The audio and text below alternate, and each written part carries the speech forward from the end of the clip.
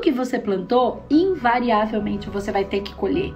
Não existe é, esqueminha, não vai dar para ir lá na prefeitura e pagar uma caixinha para alguém resolver para você, né? Vou conversar com meu amigo aqui que ele vai resolver, fazer de conta que não viu. Não existe esqueminha. Quanto mais esqueminha você tentar fazer, mais dor você vai gerar. Andressa, mas o que é um esqueminha? Tem gente que fica fazendo trabalhos energéticos para conseguir o que, é, o que ela quer e não o que tem que ser, porque não aceita o não. E o não é aquele namorado que não te quer. Não quer. Entende isso de uma vez por todas. Ele não quer. Aceita o não da vida. Quem aqui já não quis coisas que depois lá na frente falou assim: Nossa, ainda bem que não deu certo. Falei isso essa semana passada. Ainda bem que não deu certo, porque veio uma coisa muito melhor. É disso que a gente precisa entender.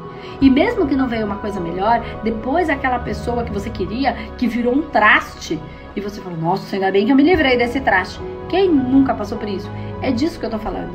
Né? Então, não fica fazendo birra com a vida. Aceita o que a vida tem para te dar. Eu, eu, garanto que ela tem coisas muito melhores para dar do que a nossa mente pode é, conceber.